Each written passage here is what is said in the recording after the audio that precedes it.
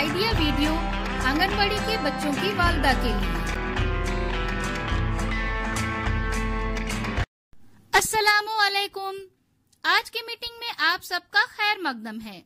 उम्मीद है आपको पिछले हफ़्ते का आइडिया वीडियो पसंद आया होगा। चलिए आज के काम की शुरुआत करते हैं।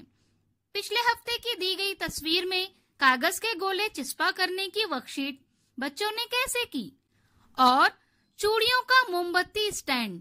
इस वीडियो के बारे में आपके ख्याल हमें ज़रूर बताएँ। अब, साथ में लाई हुई वर्कशीट हाथ में पकड़कर फ़ोटो लेते हैं। फ़ोटो प्रथम के नुमाइंदों को भेजते हैं। तब तक हम ये वीडियो यहाँ रोक देते हैं।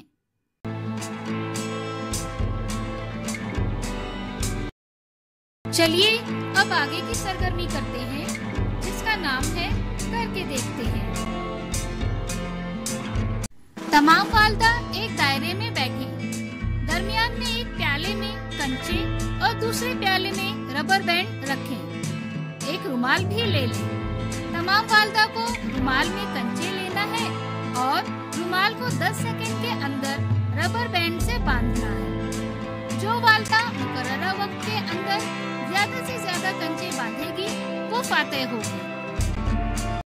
ये सरगर्मी होने तक वीडियो यहाँ रोक देते हैं।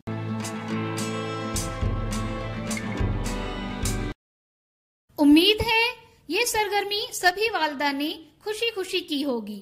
चलिए, अब आगे की सरगर्मी करते हैं, जिसका नाम है कुछ नया सीखते हैं। कुत्ते के काटने से इन्फेक्शन फैलने का खतरा होता है।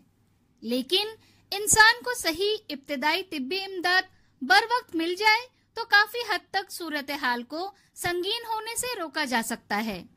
आइए इस वीडियो से समझते हैं कि ऐसी सूरत हाल में हमें क्या करना चाहिए।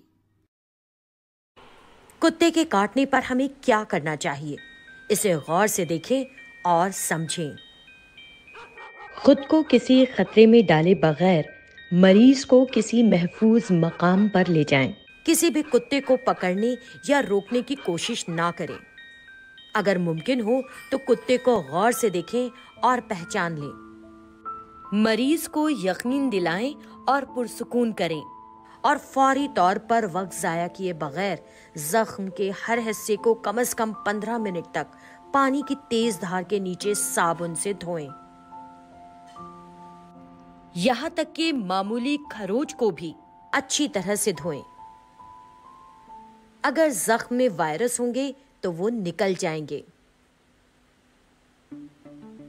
जख्म मामूली हो या शदीद, इसे साबुन से कम से कम 15 मिनट तक पानी की तेज धार से अच्छी तरह धोएँ।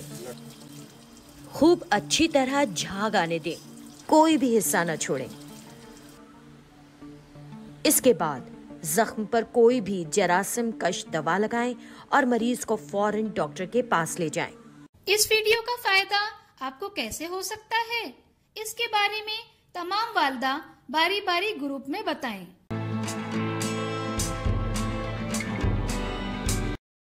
चलिए, अब आगे की सरगर्मी करते हैं, जिसका नाम है घर जाकर बच्चों से करवाएँ। दिए गए अशकालों की सही जोड़ी लगाएँ। क्या बच्चे को इस वर्कशीट को करने में खुशी मिली इस तजुर्बे को हमें ज़रूर बताएँ। आज की सरगर्मियाँ यहाँ पर खत्म होती है।